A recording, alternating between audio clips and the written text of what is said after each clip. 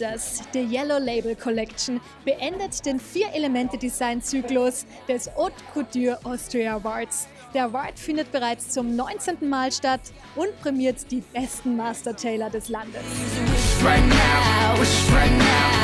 Der Elemente-Zyklus wird beendet mit dem Element Luft. Was bedeutet Luft für dich? Luft bedeutet für mich natürlich auch von der Materialwahl, es muss luftig sein, es muss der Trend Transparenz dabei sein.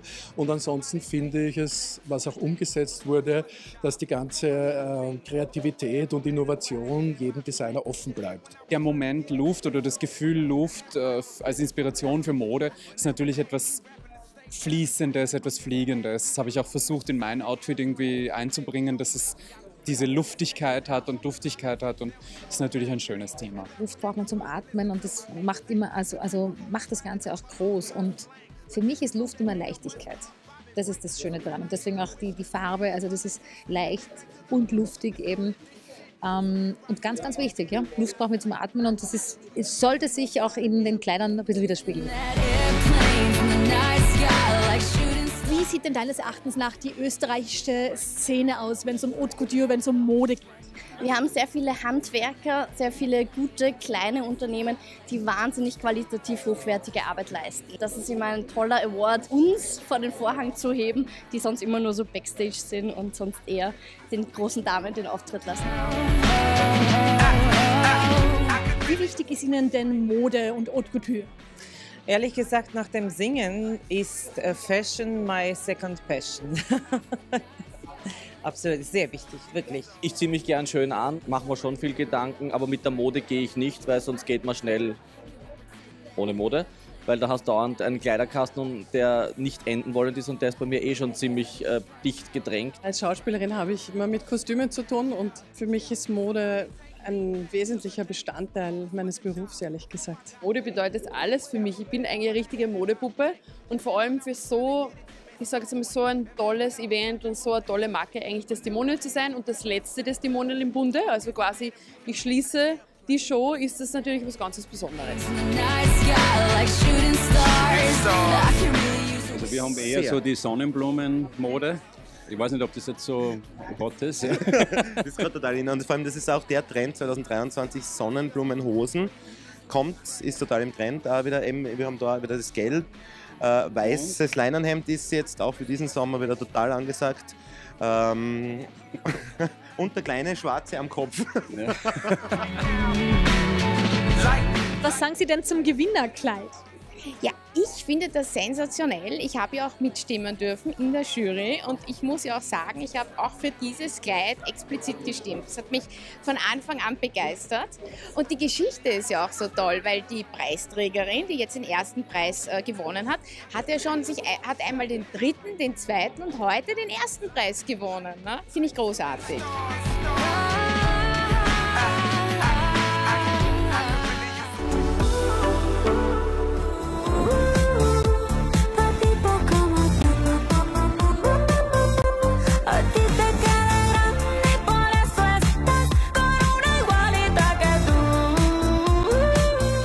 Popstar Shakira bricht aktuell mit ihrem Song Music Sessions Number 53 YouTube und Spotify Rekorde. Kein anderer lateinamerikanischer Song wurde in so kurzer Zeit so oft angehört.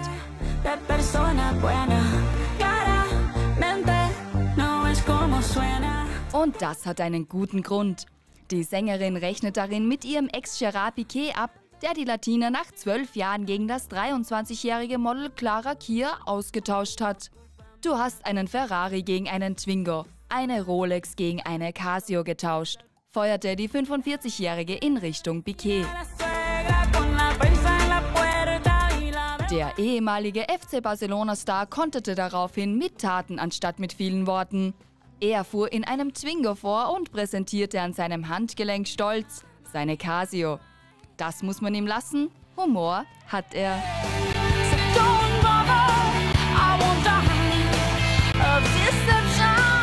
Dass aus Liebe Hass wird, das haben schon so manche Superstars erlebt und auch ein Lied davon gesungen. Unvergessen, Crimea River aus dem Jahre 2002, in dem ein gewisser Justin Timberlake der Welt sein Herz ausschüttete.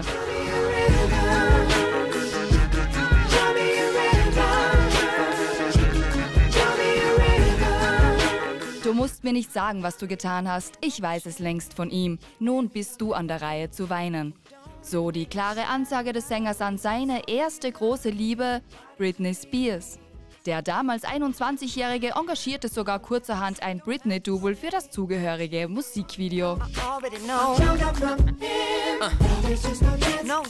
Die Sängerin wiederum reagierte etwas später in ihrem Song Every Time einsichtig darauf. Bitte vergib mir, ich war schwach. Dieser Song ist meine Entschuldigung, hieß es darin herzzerreißend.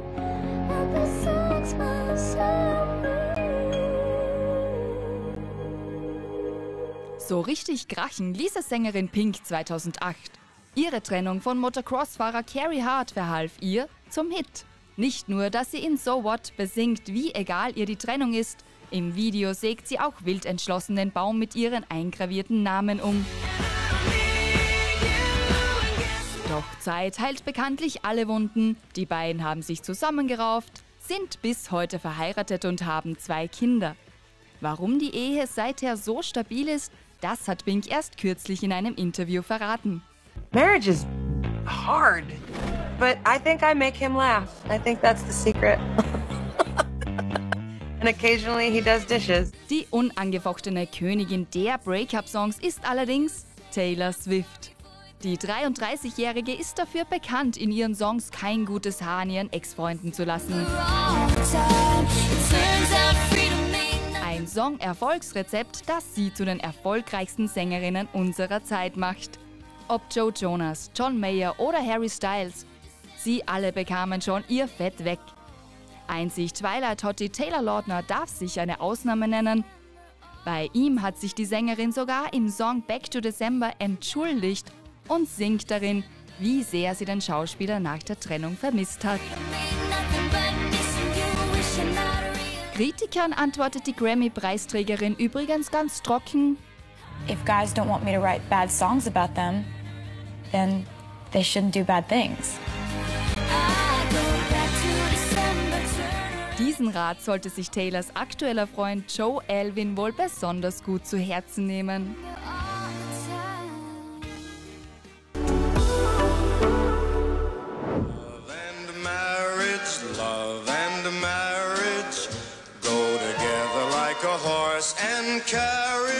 Lang ist es her, dass die schrecklich nette Familie rund um den glücklosen Schuhverkäufer Al Bundy weltweit über die Bildschirme flimmerte.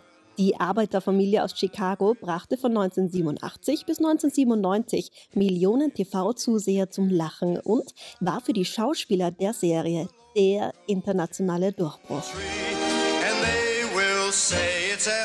Während die Darsteller von Al, Peggy und Kelly Bundy noch immer dick im Geschäft sind, wurde es um den hormongesteuerten Sprössling Bart alias David Faustino ruhig. Dabei begann seine Schauspielkarriere recht vielversprechend. Bereits als kleines Kind, schon da hatte Faustino Auftritte in der Volksserie Unsere kleine Farm. Zarten Alter von zwölf Jahren wurde er dann aber für seine Paraderolle gecastet, den lüsternen Jugendlichen Patrick Franklin Bundy. Fun Fact: Weder David Faustino noch Christina Applegate waren für die Rollen der Bundy-Kinder die erste Wahl. Aber das Schicksal nahm seinen Lauf. They had hired the two kids too, Bud and Kelly, but they fired Bud and Kelly, uh, the first the first two actors. So so we got really really really really lucky. Als die Sitcom 1997 allerdings endete, blieben für den 1,60 Meter großen Schauspieler die Angebote aus Hollywood aus. Es erfolgten eher glücklose Versuche als Rapper und kleinere Gastauftritte in TV-Serien wie Akte X, Bones oder Modern Family in der sein ehemaliger Serienvater Ed O'Neill ein fixer Bestandteil des Casts war. Zu einer gemeinsamen Szene der beiden kam es allerdings zum Leidwesen der Fans nicht, wie sie später scherzten. It, uh, we didn't have any scenes together. No. Which was weird. Yeah. Wasn't it? Yeah. Don't you think it would have been a cool moment to like just have that that little moment? Yeah, I do. You I prob- said something about it. Yeah, you said something. He probably said, "Hey, himself." I don't want any scenes with fucking Faustino." Und da David von seiner Rolle als Bad Bundy einfach nicht loskam, nahm er die Dinge kurzerhand selbst in die Hand und produzierte 2009 die Online-Serie Starving, in welcher er einen glücklosen Schauspieler namens Dave spielt. Wie passend. Darin klappte es dann auch mit einer kleinen Reunion mit Ed O'Neill. Privat blieb dem Schauspieler zwar das tragische Schicksal im Vergleich mit so manch anderen Kinderstars erspart, aber auch er hatte so seine Probleme. Seine 2004 geschlossene Ehe mit Schauspielkollegin Andrea Elmer hielt nur knapp drei Jahre. I just got divorced Die Scheidung dürfte ihn mehr mitgenommen haben, als er zugab, denn im selben Jahr war der damals 33-Jährige am Tiefpunkt angelangt. Eine Verhaftung wegen Alkohol und Drogen am Steuer, eine Anzeige wegen Drogenbesitz und ein Aufenthalt in einer Reha-Klinik. Für ihn wohl ein Weckruf. Mit Hilfe seiner neuen Liebe Lindsay Bronson konnte der Schauspieler sein Leben wieder in die richtigen Bahnen lenken. Gekrönt wurde das Glück der beiden dann übrigens mit der Geburt von Tochter Ava Maria 2015 und Anfang 2022 mit Sohn Casius. Seinen letzten öffentlichkeitsträchtigen Auftritt hatte der Schauspieler in ganz altbekannter Gesellschaft, als die an Multiple Sklerose erkrankte Christina Applegate Ende 2022 mit Gehstock zur Enthüllung ihres Sterns am Walk of Fame kam, standen ihre Serienmutter und Serienbruder Katie Segal sowie David Faustino zur Seite. My memories are our laughter together, her dry humor. Her dry humor is on another level. Apropos Humor, David hat verraten, dass es wohl bald zu einem Wiedersehen der Erfolgssitcom kommen wird. They're getting ready to do a Married with Children reboot, so uh, you'll be seeing us again soon. Oh, good. That's going to be awesome. It's going to be highly watched. It's, it's, it's going to be animated, it's going to be a cartoon, it's going to be even better. Oh, wow. Wann genau das Reboot starten soll, ist noch nicht bekannt. Wir würden uns aber alle über ein gelungenes Revival der Kultserie freuen. You will only come to this conclusion, love and marriage. Bretter, die die Welt bedeuten. Für Marco Angelini und Maria Sandner ist das nicht nur ein Motto oder ein Spruch, sondern eigentlich ihr Lebenskonzept. Immerhin haben die beiden sich bei Dancing Stars kennen und lieben gelernt. und sind mittlerweile auch verlobt. Freut mich, dass ihr da seid. Ihr seid mittlerweile sogar verheiratet, aber eure Geschichte hat wirklich bei Dancing Stars begonnen. Der Tanz hat euch zusammengebracht. Wenn ihr euch zurückerinnert, wie schicksalhaft war das, dass man ausgerechnet an einen Partner gelangt, mit dem so funkt? Es war wirklich schicksalhaft, muss man echt sagen. Also bei der Pressekonferenz war es eigentlich so, dass die Miriam damals gesagt hat, Marco, welche Partnerin wünschst du? Äh, Und der Marco hat gesagt, es ist ihm eigentlich völlig egal, Hauptsache sie ist Single. Ähm, Und ich war damals die einzige Profitänzerin, die Single war. Du warst da die Einzige, die es lustig gefunden hat. Und so sind wir zwei eben äh, einmal tänzerisch zusammengekommen. Ähm, und es hat sich dann einfach so entwickelt. Wir waren uns von Anfang an, das muss man ganz ehrlich sagen, einfach mega sympathisch. Also wir gemerkt, die Chemie passt, wir können gemeinsam lachen, wir sind unkomplizierte Typen, hin und wieder. Äh, wir waren mal kompliziert, sind dann sehr kompliziert. Also entweder ähm, komplettes Drama oder, oder alles äh, total Liebe. Ähm, und da haben wir uns irgendwie gefunden und zusammen getanzt, zusammen gekämpft und mittlerweile verheiratet und glückliche Eltern einer zweijährigen Tochter. Wenn du da zurückdenkst, eben auch, wir haben ja vorher gesprochen bei Genial Viral, also schicksalhaft, äh, dass vielleicht gut war, dass du bei einer Show Nein gesagt bekommen hast, weil du bist dann dadurch zu Dancing Stars gekommen und so weiter und so fort. Äh, Und jetzt habt ihr eine gemeinsame Tochter. Wie hat dich das verändert? Es ist völlig wahnsinnig. Und ich, wenn ich nachdenke, wie das meine ganze Reise musikalisch und alles, wie das angefangen hat, hätte ich mir nie gedacht, dass das der Endpunkt sein wird, dass eben wie jetzt alles so ist. Ja. Und äh, ich sitze oft zu Hause, dann, dann rennt die, unsere kleine Antonia her und dann denke ich mir, die, jeden Schritt, den du da gesetzt hast, das war richtig. Und Mhm. ähm, irgendwann weiß man auch das zu schätzen und auch diese Bedeutung. Warum habe ich dann damals einmal irgendwo in einem Casting ein Nein gekriegt? Warum bin ich da rausgeflogen? Äh, warum ist eine Tür vielleicht äh, zublieben und, und woanders wieder aufgegangen? Äh, irgendwann, ja, man, man hadert ja sehr oft mit dem, wenn man irgendwo ein Nein kriegt oder wenn was vielleicht nicht so funktioniert, wie man es äh, erträumt hat. Und ähm, ja, ich bin mehr als belohnt worden für meine Reise und äh, bin mörder dankbar dafür und äh, möchte mit niemandem anderen oder äh, für nichts auf der Welt äh, das irgendwie eintauschen. Und ihr seid ja auch genauso fleißig geblieben wie eh und je. Ich verfolge eure Karriere ja schon relativ seit dem Anfang. Also du hast natürlich mit deinem Bruder die Tanzschule, du bist aber auch Choreografin vom Opernball. Ich glaube, das war sowieso der Ritterschlag, den man äh, vor allem in deinem Absolut. Alter haben kann. Ähm, bei dir mittlerweile Künstlermanagement, du bist als Chirurg angestellt. Also da hat sich echt viel getan. Wie schupft ihr das mit kleinem Kind? Gute Frage. Also Ja, das es ist Zauberwort ist Flexibilität Ja. also, und, und Teamwork. Also wir schauen uns jede Woche an, von Montag bis Sonntag, wer hat wann, wo, wie Zeit.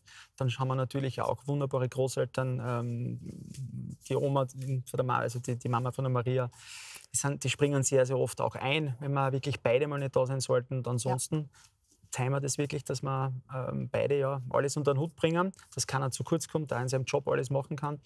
Und äh, das Wichtigste ist, dass unsere Tochter nicht zu kurz kommt. Also das Ja. ist unser Ist- Hauptaugenmerk. ist oft nicht leicht. Gerade Das natürlich ich. auch jetzt als, als Jungmama, dass man äh, eben die Mutterrolle, äh, dass man der Mutterrolle gerecht wird, dass man trotzdem in der Selbstständigkeit äh, schaut, dass da alles passt. Ähm, ist, ist wirklich so, dass man jeden Tag aufs Neue einfach kämpft, dass das alles äh, neben, nebenher geht. Ähm, aber ich glaube, das Wichtigste ist wirklich Management und dass man auch da als Paar, als Team funktioniert und einfach auch schaut, dass man gemeinsam durch die Sache durchgeht. Vielleicht auch viele Sachen hinten anstellt, die vorher Ja. so wichtig waren, dass man einfach sagt, ja, dann lasse ich einmal das eine Bier mit einem Freund aus Mhm. und ich bin gescheiter zu Hause. Und Ja. das ist Und einfach wichtig. ohne unsere Familien würde es wirklich nicht gehen. Mhm, das glaube ich euch. Apropos äh, Sachen hinten anstellen, deine eigene musikalische Karriere hast du ein bisschen hinten angestellt, ähm, aber du förderst jetzt neue Künstler. Wie bist du auf die Idee gekommen? Weil vielleicht euer Zeitmanagement so gut ist, oder da kann ich gleich andere auch äh, managen. Das ist ein Talent von mir. Ja, es ist natürlich so, ich mache das Management von der Maria und ähm, habe mir gedacht, ja, wenn man das schon macht, ja, dann kann man natürlich auch andere Talente vielleicht noch fördern. Äh, ich kenne das von mir selbst, ich bin teilweise äh, oder habe auf langen Strecken auf meiner Karriere niemanden gehabt, der mich unterstützt hat. Ich habe nicht gewusst, wie funktioniert das, wie komme ich eigentlich in ein Radio, wie, wie, wieso wird mein Song nicht gespielt, wie, wie, wie laufen diese ganzen Wege. Und äh, mir ist es wirklich ein Herzensanliegen, wenn ich junge Talente sehe, dass ich denen einfach äh, dass ich denen gewisse Wege ersparen kann, die unterstützen kann. Und ähm, das nicht mit irgendwelchen Eurozeichen im Auge, dass ich sage, ja passt, da schnappe mir jetzt die große Kohle, sondern einfach wirklich begleitend einwirke und äh, die kreativ arbeiten lasse. Jetzt ähm, Maria natürlich bei mir äh, der, bei Angelini Entertainment dabei, aber habe jetzt auch äh, wirklich äh, tolles Talent, zum Beispiel Michael Skopek, äh, einer der Top-Influencer in Österreich, Macht so lustige TikToks und macht Reels. so lustige TikToks. Ja, ich weiß, Absolut. ich habe es gesehen und habe mir gedacht, ach, ich, hoffe, ich hoffe, dass ich mal die Ehre habe, dass er mit mir einen TikTok macht, weil er so lustig Du ist. musst einmal einladen. Sehr gut, kommt in die Show und dann machen wir TikTok. Na, und es ist einfach wichtig, dass man junge Talente unterstützt und äh, aus dem Ganzen heraus ist das jetzt so entstanden. Ja? Und es macht, macht Riesenspaß und, und ist natürlich auch ein toller Ausgleich äh, zum Chirurgendasein, Mhm. wo es trotzdem natürlich immer sehr seriös und sehr ernst zugeht. Bei dir geht es nicht so ernst und äh, seriös äh, zu. Gott sei Dank in der Tanzschule auch viele junge Talente. Macht dir das nach all den Jahren immer noch Spaß, das Unterrichten? Absolut. Also ich sage, äh, Tanzen ist, ist mein Leben, meine Leidenschaft, meine Passion. Ähm, und gerade der Unterricht eben direkt ähm, bei meinen Tanzschülerinnen und Tanzschülern ist eigentlich das, was mir erfüllt. Also macht mir irrsinnig viel Spaß. Ich gebe ganz viele Kurse bei uns in der Tanzschule äh, selber. Und natürlich solche Sachen Die wie... fragen dich dann sicher nach Autogrammen, oder? Es kommt hin und wieder Ja, vor. Ja. habe ich mir gedacht. Oder sehr Entschuldigung, heute macht man Selfies, Autogramme sind out. Genau, ja, Autogramme gingen auch immer noch. Natürlich solche Projekte dann wie Dancing Stagerie oder Mhm. eben Opernball-Choreografie äh, ist dann was ganz was Besonderes und ähm, ist natürlich was, wo man sich dann choreografisch richtig austoben äh, darf und macht jede Menge Spaß. Opernball wird ja nächstes Jahr wieder stattfinden. Wirst du wieder Teil davon sein oder darfst du schon was sagen? Das ist schon ganz offiziell. also mein großartig. Bruder und ich, wir dürfen wieder die komplette Eröffnungschoreografie Mhm. vom Wien Opernball choreografieren und gestalten. Und das ist natürlich absoluter Ritterschlag. Also da freue ich mich wie, jetzt wieder wie drauf. groß ist der Druck? Weil man muss ja sagen, also der Opernball ist in Österreich sehr bekannt, aber er wird weltweit ausgestrahlt. Millionen von Menschen auf der ganzen Welt sehen den. Das ist einfach der bekannteste, nach dem Ball, nach dem großen Ball in Monaco ist es, glaube ich, der bekannteste Ball der Welt. Äh, wie, wie hoch lastet der Druck und denkt man sich, ist die Choreografie perfekt? Sollen Mhm. wir doch noch was ändern? Ja. Also es ist gar nicht so schwer für mich. Also es ist schon ein Druck, absolut. Also mein Bruder und ich, wir nehmen die Sache sehr ernst, ähm, sperren uns da immer circa 48 Stunden in der Tanzschule komplett ein, äh, sammeln da mal alle Ideen, äh, die sich jeder einzeln gemacht hat, schauen einmal, wie wollen wir die ganze Choreografie äh, strukturieren. Es ist sehr komplex, dass man so eine Opernball-Choreografie designt, muss ganz viele Sachen beachten, eben die Schwarz-Weiß-Effekte, die Übergänge, wie kann man eine gewisse Stimmung reinkriegen, wie kann man viel Wechsel reinkriegen, wie schaut das Ganze spannend aus. Dann das Ganze in der Kameraperspektive beachten. Ja, genau. Mit Live-Publikum. Manchmal ist es ein bisschen zu eng, die Ja. Absperrungen Ja, sind nicht ja, auf Position. Genau.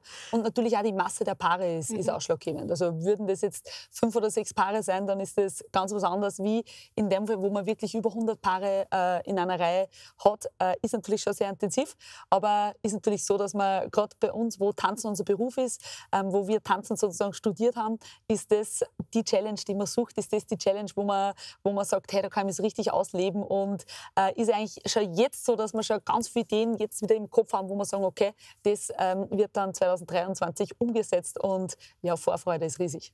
Ich freue mich auch nicht nur auf die Choreografie, sondern auch auf dein tolles Kleid. Mm. Maria trägt immer Kleider, also da kann man nur abschnallen. Ich weiß gar nicht, wie Marco da nicht ohnmächtig wird, aber ich freue mich sehr. Erstens auf deine Talents und natürlich auf dich äh, und deinen Einsatz beim Opernball. Vielen Dank fürs Interview. Danke sehr. Danke.